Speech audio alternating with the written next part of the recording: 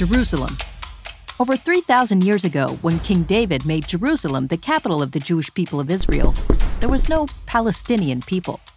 When King Solomon built the first Jewish temple in Jerusalem, there was no Palestinian people. When the Babylonians broke through the city walls of Jerusalem and destroyed the first temple, there was no Palestinian people. When the Romans destroyed the second Jewish temple in Jerusalem, there was no Palestinian people. When the Roman emperor renamed the land of Israel Palestine as a way to punish the Jews, there was no Palestinian people. When the Byzantines, Arabs, Crusaders, Mamluks, Ottomans conquered the land of Israel, even then,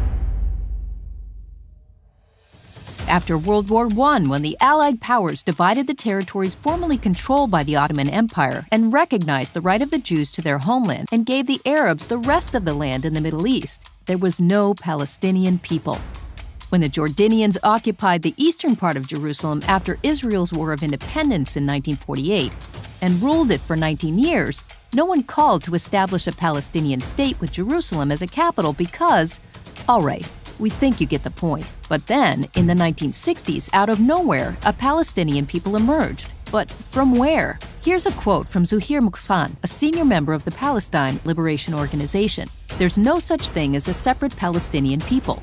There's no difference between Jordanians, Palestinians, Syrians. The Palestinian identity exists only for tactical reasons. The creation of a Palestinian state is a new instrument in our ongoing war against the State of Israel and for the purpose of our Arab unity.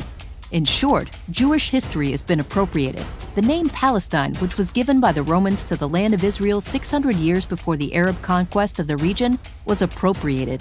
There is a concerted effort to erase Jewish history and to delegitimize the State of Israel.